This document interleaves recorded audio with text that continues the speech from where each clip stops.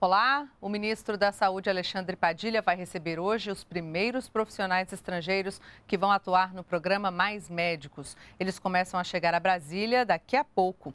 Ao vivo do aeroporto Juscelino Kubitschek, a repórter Priscila Machado tem outras informações. Priscila.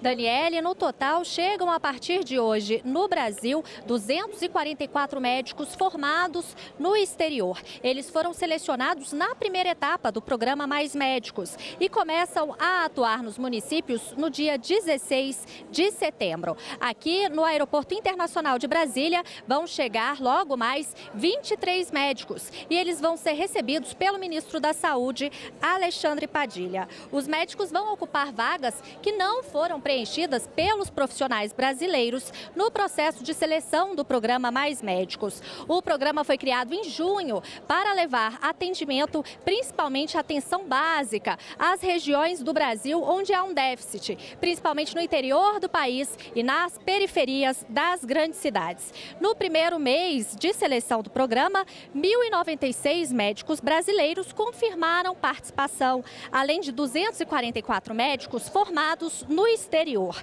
Esses médicos que começam a chegar a partir de hoje, sendo 99 de nacionalidade brasileira mais formados no exterior, além de 145 médicos estrangeiros. Os médicos vão ser distribuídos em 516 municípios e 15 distritos sanitários indígenas. Daniele. Obrigada, Priscila.